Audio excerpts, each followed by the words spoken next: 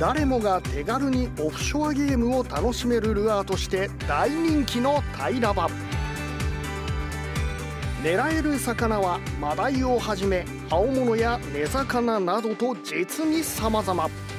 シンプルながら釣り込むほどに感じる奥深さも魅力となっている。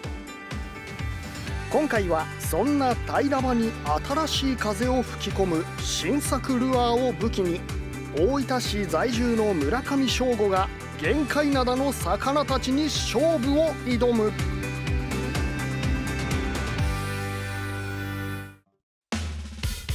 今回の「ルアパラ九州 TV」は限界灘の平場をお届けしています。おはようございます。ジャッカルの村上翔吾です。今回の「ルアパラ九州 TV」はですね限界灘の平場ゲームということで、まあ、平場と言いつつマダイを中心に本当もういろんな魚種何でも来いっていう感じでやっていこうと思うんですけども使うルアーはですねこちらのビンビンスイッチなんですけどこちらはですね従来まであったタングステンモデルではなく鉛です。鉛式のビンビンスイッチ。この新たに登場した鉛鉛式のスイッチどこまで限界などに通用するのか。いきますか。いっぱい食べられてこい。もう限界灘この今のこれからの時期はもう夜炊きのケンサキイカが盛んということでまあタイとかねそういうのもイカを食ってるらしいんでとりあえず朝はこの白いスイッチイカっぽい色から入ってみました。でたまにはもういきなり釣れちゃいましたみたいなそんな日があってもいいんじゃないでしょうか。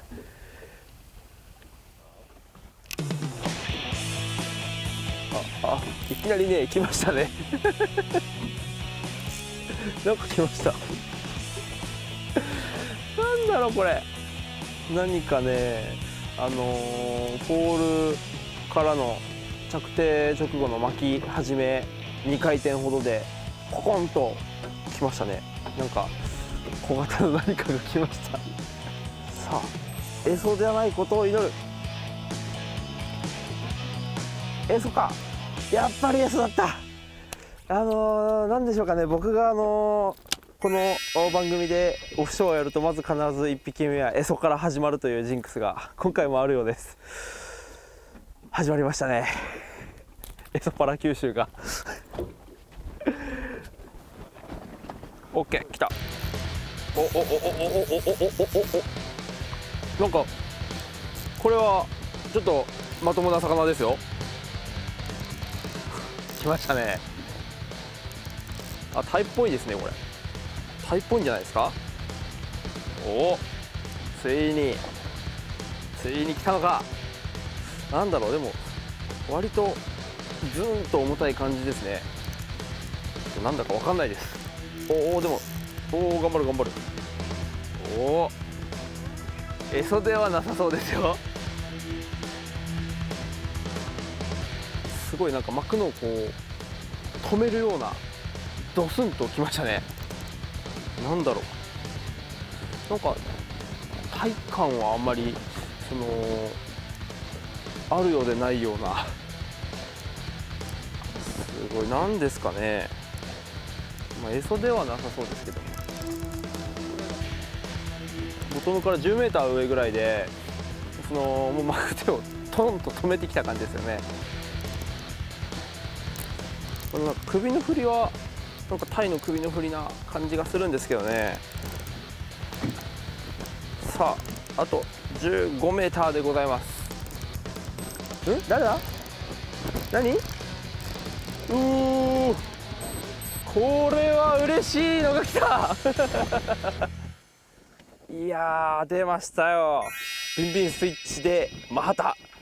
あの僕自身マハタは釣ったことはあるんですけどビンビンスイッチで釣ったのは初めてですいやー、まあ、この時期結構ねあのもうすごいいいコンディションで美味しくてあのちょっと今晩のね 晩ご飯が楽しみな今そんな僕の頭の中なんですけどもやっぱね結構マハタって浮いてる魚なんで、うん、中層でドンと来ました、まあ、もっとねでかいサイズもいるかもしれないしいやー嬉しいですね。なんかえそからちょっと一気にグレードアップしすぎじゃないですかこれ。ねやりました。さあ、えー、今マハタがねドンと来てくれたんですけどもちょっとこれを見てください、えー、まあ、同船者の方が魚から吐き出されたこのベイトイワシですね、えー、まあ、スイッチとはまあ似ても似つかない形してるんですけどもやっぱりこういう餌を食っている魚に対しても有効だということですよ。あのマハタももちろんこういうイワシを狙ってると思うんでいやいいですね。どんどん行きましょう。やっぱマハタはちょっとバイトの仕方がもう一気でしたもんね。ドン！タイはやっぱりこうある程度カガガガガガガってきますけどスバッていったんでしょうね。オッケー来ました。村上連続ヒット。あ来ましたね。あのー、いいですか？ヒットしたんですけどね。これねエソっぽいですね。エソっぽい。あ違う。うわ。エソじゃなかった。3種目でし3種目目でした。はい。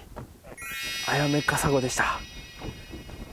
いやー綺麗な色してますね。もう着底できましたね。結構よく釣れる魚ですこれは。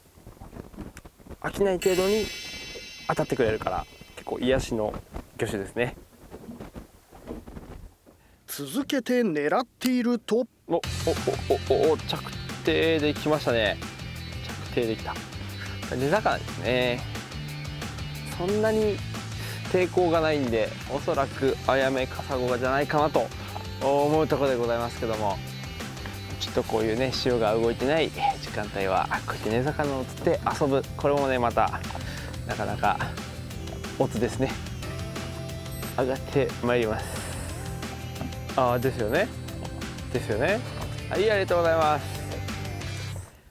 スイッチで。だいぶサイズアップしましたね。うん。2 5センチ近い。ちょっと全然食べれちゃうサイズになりました。ね。これもきっと煮付けとかしたらね美味しいでしょうからね。それにしても色が綺麗です。まあ、結構着底と同時に食うことが多い魚ですね、うん、着底してスカートがひらんってなったとこをパクッといっちゃったんだと思います。さらに続けて。連発ですね。連発しました。これはでもなんだろうな。これもスイスイ負けちゃうんですねいやでも、まあ、割と負けちゃうサイズ感ではあるんですけどね。やっぱり連発で当たってくれるってちょっと今ねだいぶ心がほっこりしてますね。さっきよりは抵抗感がありますよ。そうそう。やっぱ当たりはねいっぱいあった方がね楽しいですからね。そんなこんな言ってたらドンってくるんじゃないですか？おついに僕にも南国のタマンがさあやってきました。笛吹き系ですね。もう今日これ船で船中結構ポロポロ上がってるの見てましたけどついに僕にも来ました。なんか平らでこういう系の魚釣ったのは初めてですね。僕スイッチで釣ったのは初めてです。えー、なんか面白い魚ですね。なんか口が長い。ねなんか馬みたいな顔してます。なかなかもっと大きくなったりするんですかね、まあ、笛吹きっていろんな種類がいるからこれは何笛吹きかちょっと分かんないですけど。やりました。連発です。4魚種目。スタート直後から多彩な当たりで盛り上がる限界灘の平場。後半戦さらなるヒットシーンをお見逃しなく。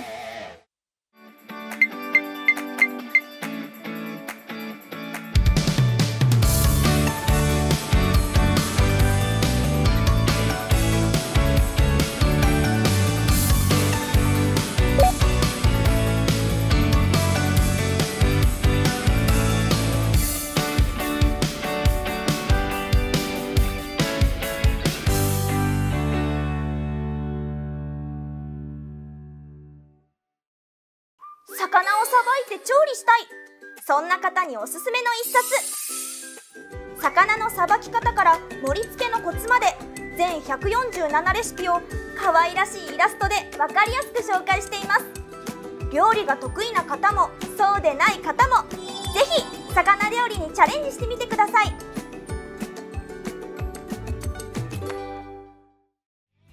だいぶ風と潮が同調して流れ出したんでだいぶ糸の角度がつき始めましたね。もうラインも 100m 近く出てます。今 120g の鉛スイッチ使ってるんですけど結構いい感じに重さを感じてあ中層にいる中層に反応があるらしいです。さあ。さあ。お。来た来た来た来た来た来た来た来た来た来た来た来た来たこれはなんかちょっと引いてますよ。また冬吹きかな。すごい連発しております。いやいやいやいやいいですよ。なんか今日一暴れてます。でもこれだいぶタイみたいな首の叩き方しますね。コンコンコンコンコンコン言ってます。すごいすごい。今マジで地合いなんでしょうね。落とせば釣れる。スイッチが入りましたね。おお。お T じゃないですか。マダイマダイですか？マダイですね。いやいやいや。いや今日の状況でタイ出てくれるかなと思ってたけど、まあ、サイズ的にはねまあまあちっちゃいですけど嬉しい1枚ですね。いや結構がっつりフロントのフックが刺さり込んでます。すごいもう5目達成しましたね。えー、マハタ。じゃあ順番でいきましょう。エソマハタ、えー、アヤメカサゴ、えー、笛吹。きそしてマダイ。何目までいくんですかねこれ、えー、でお来た。ボールで。いった。いった。いったこれ。これいった。やばい。でかい。なんかすごいの来ちゃいました。なんだよなんだよ。ポールがもうすごい勢いになっちゃったんですよね。いやちょっとこれやだな。やべえ止まんねえ。いやこれちょっとプレッシャーすごいな。青物臭いですね。あ切れた。切れた。止まらなかった。まあ、こういうことがあるのが限界なんだですね。まあ青物のでかいやつでしょうね。これでいきます。80g ですはいするといきなり。ルアー交換直後にヒット。何か来ましたよ。と頑張る。これなんか根魚じゃないですかね。着底で食ったし。誰？何ですかこれ？うん？何これ？何これ？これなんすか？さあ、えー、何でしょうかねこれ名前が分かりません。これルアパラ九州 TV でも初めての魚ですか、はい、あら。すごいちょっとよく見てみましょう。ちょっと観察してみましょう。ちょっとお腹見てくださいよ。すんごいぽっこりしたお腹で。なんかあの胸びれなのかなんかよくわかんないようなヒレもあり。ね全体的にヒレは非常に大きいですねそして何といってもこの背中のもう怪獣のようなトゲ。これなんか刺さったら危なそうな感じなんですけどやっぱ一番個人的にびっくりなのがこんな見た目なのにね目がこんなちっちゃいんですね。これ目目これすんごいちっちゃいですよ目が。こんな見た目なのに。何ですかねこれちょっとテロップで多分魚の名前は出てるでしょうけども今現在ちょっと僕は分からないそんな状態でございます。何なんですかね。牙も結構すごいですよ。これねここになんかこうペロッとなんかこうベロのしょなんか触覚みたいなのあるじゃないですか。多分これでおびき寄せてパクって食うタイプの暗光的な要素を持ってるんじゃないですか。何これ。その後も当たりは止まらず。あと 10m ここめちゃくちゃ浅いんですよ。もうボトムがね見見えてるこれ。あ見えた見えた見えた見えた見えた。見えた見えた。赤か。青か青か黄色か。ああこうだでかいぜやりました。スイッチでビッグアコ来ましたね。やったこれは嬉しい。いやもうかなり水深浅い。20m 以内の水深だったんでボトムから 5m 以内をネチネチと。割とでもテンポよく早巻きで 5m 以内をこうテンポよくやってたらドーンときました。結構アコは泳げるタイプの根魚なんで、まあ、その早めのリアクションの動きでもついてこれるだろうなと思ってそういうイメージで早巻きでボトムから 5m 以内を狙ってたらドンと来てくれました、まあ、スイッチは早巻きにもね対応できしてくれるから非常にそれが効いたのかなと。いいやこだな。かっこいい。やりました。最後の人流しのコールがかかったところで OK またしても当たりを捉えた村上。剥がせ剥がせ。根魚だ。いい肌だ。よし今日の締めくくりフィッシュでございますやっぱね引きますね。畑は。アコウか赤旗か。なんかアコウっぽいですけどね。アコウでございます？はい。締めのアコウねスイッチストンと落としてさっと巻き上げる。このパターンがやっぱりハマってる。ねおっと。スイッチでアコウいや高級魚連発の回でございました。さあ、えーまあ、結局、まあ、このアコウを筆頭にマハタエソマダイ、まあ、その他いろいろ変な魚も釣れたりして非常にたくさんの魚種が遊んでくれました、まあ、ビンビンスイッチねやっぱマダイ釣るだけじゃもったいない。こんな感じでいろんな魚種釣ることができるんで皆さんこの鉛式ビンビンスイッチこれもよろしくお願いします。ということで続いては後藤船長のコーナーです。